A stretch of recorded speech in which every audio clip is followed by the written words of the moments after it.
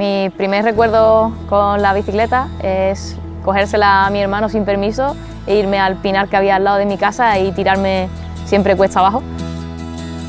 Creo que elegí el ciclismo porque era una forma de, liberar energía. cuando era pequeña siempre estaba peleándome con mi hermano y, yo creo que con el ciclismo eso hizo que liberase la energía y que fuera un poco menos hiperactiva. El ciclismo me hace, sentir sobre todo libertad, ¿no? el poder decir que quiero ir a, un sitio y, solo dependo de mí para, llegar allí.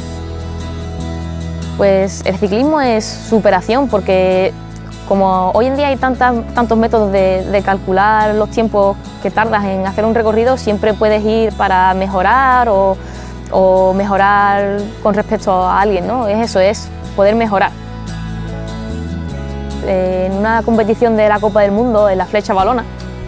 Eh, recuerdo perfectamente que iba en el segundo pelotón, aproximadamente a unos 4 o 5 minutos de la ganadora, y fue llegar al pie del muro de Uy, uno de los más importantes de la flecha balona, el último, y ver a esa gente allí animando me hizo decirme a mí misma que tenía que llegar la primera del pelotón a la meta por esas personas. Pues sinceramente creo que las virtudes tanto como, persona como ciclista deberían de decirlo o bien mis amigos, mis compañeras, pero supongo que compañerismo ¿no? es lo que la mayor virtud que a lo mejor puedo tener. Prefiero que gane una compañera a, ganar yo si es posible.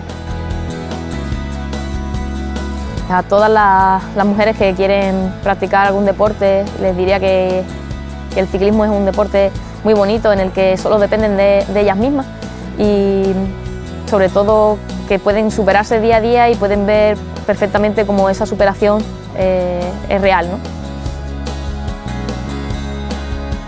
Decidí empezar a competir prácticamente con siete años porque ese fue el año que empecé a montar en bicicleta y justo en el 92 fueron los Juegos Olímpicos de, Barcelona.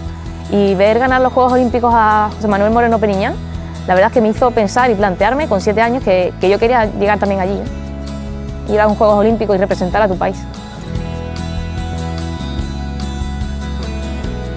Pues mi, principal sueño es ir a Juegos Olímpicos y de hecho eh, quiero cumplirlo, me gustaría cumplirlo y para ello el año que viene no trabajaré, dejaré de trabajar, dejaré de ser profesora y me dedicaré solo a, a la bici, porque en 2013 me quedé en el paro debido a los recortes en educación y me pude dedicar a la bicicleta ese año entero y me demostré a mí misma que puedo estar delante.